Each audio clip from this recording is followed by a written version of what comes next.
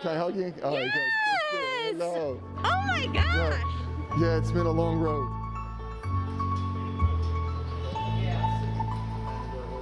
Gives me goosebumps to walk through the doors because, you know, it was. I never thought life would be back to normal.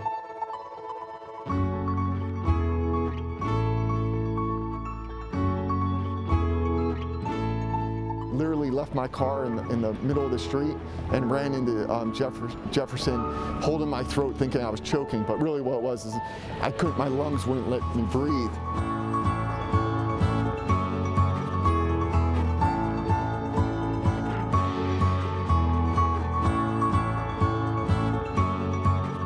When I came in, I couldn't even walk five feet.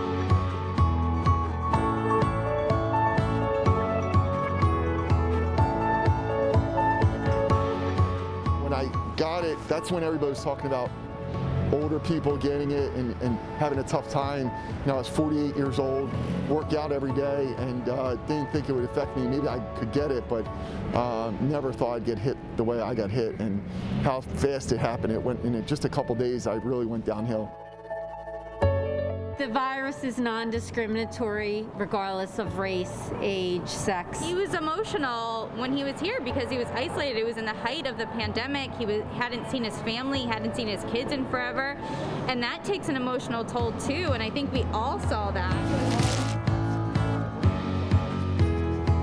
From the bottom of my heart, thank you, and I don't think you get the recognition you deserve. I think it makes all of us feel uh, happy Yeah. and uh, and and empowered to know that we've made a difference in uh, in a life.